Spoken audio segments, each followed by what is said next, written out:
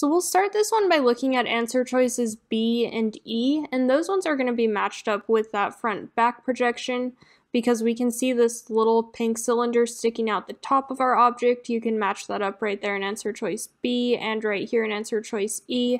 And more importantly, we have this green cutout, which we can match up here in B and E.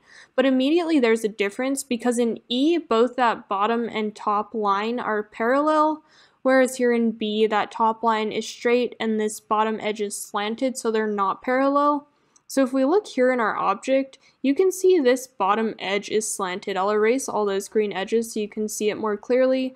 This bottom edge is slanted and it's not parallel with this top edge. So we can eliminate answer choice E because this edge needs to be slanted up somewhat like this. Now looking closer at answer choice B, although that cutout looks correct, this section right here, that blue rectangular part, does not look correct because if you look at that same part here in our object, this edge right here is curved. It's not a 90 degree angle at this corner. So here in answer choice B, this edge right there should be curved so we can eliminate B. Now let's look at D.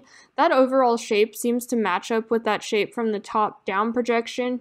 You can even see this 90 degree cutout and that arced cutout, which you can match up here and right here, so that looks correct. You can also find this circular piece there in green in our object, and you can match it up right here in D, and it seems to have the correct position and shape. But the problem with it is that this, since it has this gray center, that means it's a cutout. Whereas here, this piece is sticking up off the top of our object.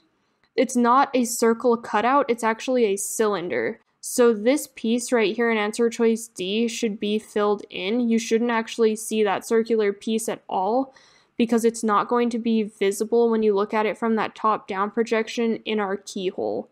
So we can eliminate D since this section right here should just be completely filled in. And lastly, we'll look at A and C. The only difference between the two is that this piece right here in A is centered, whereas here in C you can see that it's pushed to this side of our object. So we're looking at this cylinder right here, and from this rectangular outline of the rest of that keyhole, you can tell that we're looking at that left-right projection. So again, we have to figure out if this teal piece is in the center or pushed to one side.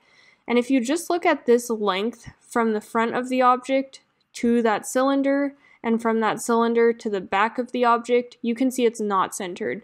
The length to the front is far longer, so we can eliminate answer choice A, because that's showing us that the length in back and in front of the object is the same, which is incorrect. Answer choice C is correct because it has that correct outline. The length to the front of the object in yellow is much longer than the length to the back of the object here in maroon. So answer choice C is correct.